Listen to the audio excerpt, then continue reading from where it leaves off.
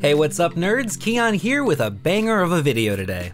You may have heard of a little 80s retro themed stream package called Synthwave before, but today I'm gonna show you why it's the best retro themed stream package out there. Now, before you click away saying, but Keon, I've seen this before, let me just say no, you, you really haven't, because what I'm gonna show you today will blow your minds. And if you stick around to the end of the video, we actually have a special announcement. So let's get right into it, and please stop me before your jaw hits the floor. Starting off, did you know that the alerts in this pack offer you minimally 49 different possible combinations of backgrounds and foreground assets? Yeah, you heard me right. That means you and 10 other friends can have this exact same pack and none of your alerts would be the same. How about the fact that this pack comes with over 100 different customization options for your overlays? For example, it contains three different countdowns, eight different stinger transitions, six different support bar variants with five different colors to choose from. I'm no mathemagician, but that's a lot. And if that didn't melt your brain, did you know that you could set up every scene from this pack in OBS with just six clicks? And that's not an exaggeration either. I literally took a few seconds and counted for this video, just for you.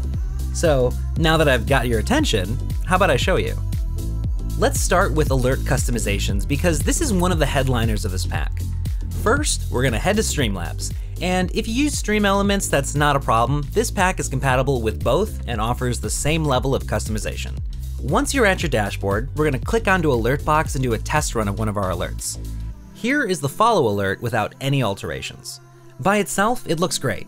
We could set this up and not change a single thing, but that's not what I promised you.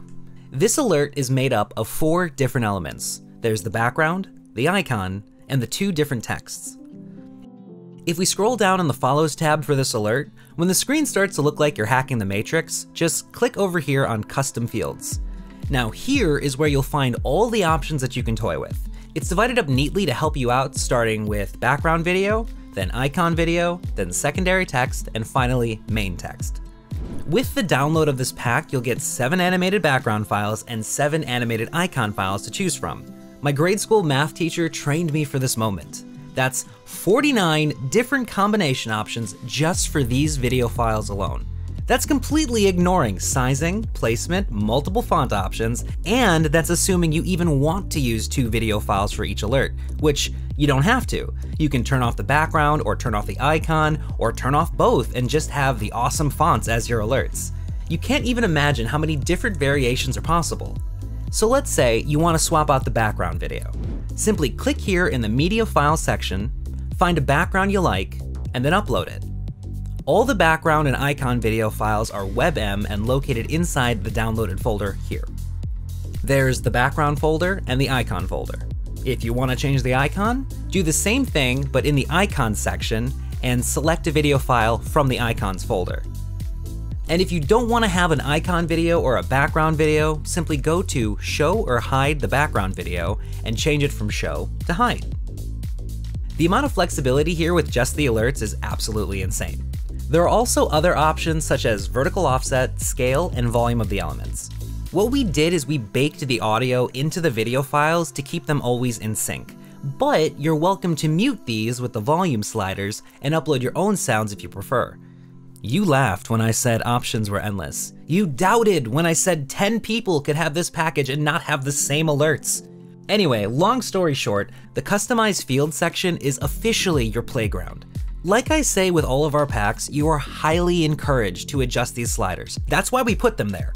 Test out the different options and really experiment because everything is non-destructive. If you're able to adjust it, then do it. Now, let's talk about overlays for your stream. The stuff that is always there, even when the alert animations are hibernating waiting for your next supporter.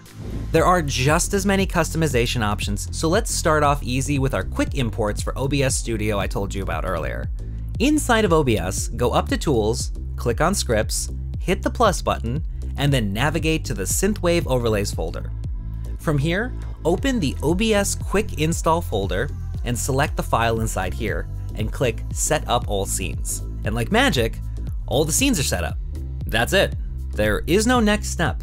We have a starting screen, a game scene, just chatting scene, and an ending scene. Now that we're officially set up inside of OBS, let's hop to our Synthwave downloaded folder. Quick overview, once you're inside this main folder, you'll find a handful of folders. The folder we're looking for is the one labeled Graphic Assets Individual Files. Inside of here, you'll find options for the goal bar, icons, panels, scenes, stinger transitions, support bars, and webcam. We can click through any of these folders and inside you'll find options galore. Let's say you want to see what stingers are available. Just click inside and you'll find eight different stingers to choose from. And if you're not impressed, how about webcam overlays? In there, you'll find six different webcam styles for both 16 by 9 and 4 by 3 aspect ratios, each in four different color options.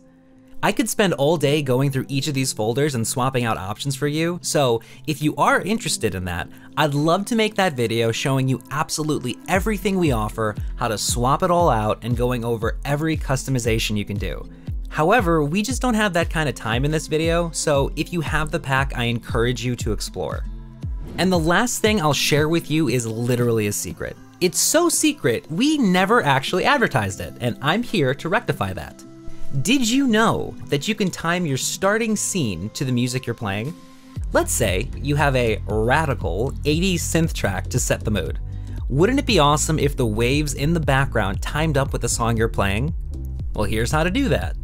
Inside of OBS, let's head to the starting screen.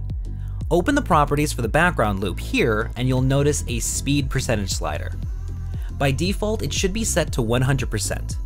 We've actually made this so 100% is 100 beats per minute.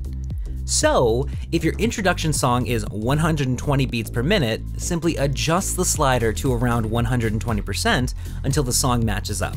Because it's a percentage slider, it's not an exact conversion rate, but it's pretty close.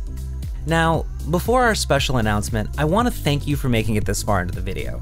This is a new type of video we're experimenting with to show you why Nerd or Die should be your go-to for all things streaming. So, if you liked this and would like to see more in the future, be sure to hit that subscribe button and notification bell to know when these videos release. And while you're down there, you can give us a thumbs up too, that helps. And now for the moment I've kept you waiting for. We're excited to announce that we've just released the Synthwave event list for both Streamlabs and Stream Elements users. If you already own Synthwave, you can just simply re-download your pack to grab this update. Installing is exactly the same as our other widgets using the quick install link. This event list right here is 100% generated with code, meaning every piece of it is customizable. I'm just going to give you a brief overview of it today, so let's just casually take a stroll through some of the options. If you don't know how to get to your event list, start by clicking all widgets on the sidebar here, and then click event list. Normally you'd see your event list pop up in this space, but for whatever reason it's not always consistent, so it's always best to preview your alerts in OBS or in the pop-up by pressing launch over here. With these checkboxes you can enable and disable the type of pop-ups you want, and down here you can adjust minimums for certain pop-ups like hosts, bits, and raiders. Max event will change how many of these events stay on screen at one time. So if you want more or less depending on space, just increase or decrease the slider here. Now the important stuff. I said everything here was made with code and customizable. However, these options here, text color, font, font size, animation, and animation speed will not work to adjust the event list. That stuff is all taken care of in the custom field section. Fade time will make the event list fade away after so much inactivity, and it'll re-pop up once a new alert comes through. I personally like this option because it keeps the screen space clean and tidy. And finally, you can flip the X or Y axis down here. Now onto the custom field section. Here is where you can go wild. Like I said, everything is customizable. I can't stress that enough. Want the glowing line to be thicker? Adjust the horizontal glow line height. Want the main background color different? Swap it here with the main background color. Want more or less of a slant for the background? Yeah, you guessed it. Just adjust the tilt amount of events here. We've even provided you with helpful hex code color options up here to perfectly match the colors we use across Synthwave. Top text has its own options, bottom text has its own options, everything has an option. If you see it and you want to change it, chances are there's a slider, drop down, or color picker here to change it. I can't go over every option in this video, otherwise it would take forever, but just know it is there. We're really excited about this and we hope that you like it too. And if you don't already own Synthwave, but I've managed to convince you to check it out, head on over to nerdordie.com or click the link in the description and pick it up. And that's it, ladies and gentlemen. Like I said before, there's absolutely no way I could have fit every option into this video. There's really that much. We here at Nerd or Die pride ourselves on providing more than just standard static overlays and alerts. We build entire systems of customization for you to make each stream uniquely you. If there's a pack you'd like to know more about, let us know in the comments down below. Every pack we offer has some unique feature that we're just dying to share with you guys. We also have a Discord you can hop on in and talk with us about any of our packs. We're always adding free updates to our current packs, and the best way to stay up to date on our products is in there. If you've downloaded Synthwave and need any help setting it up or customizing, we have a dedicated help section in there where we can help you directly, or you can always contact us through our website, nerdordie.com. Once again, I've been Keon, and I'll see you guys in the next video.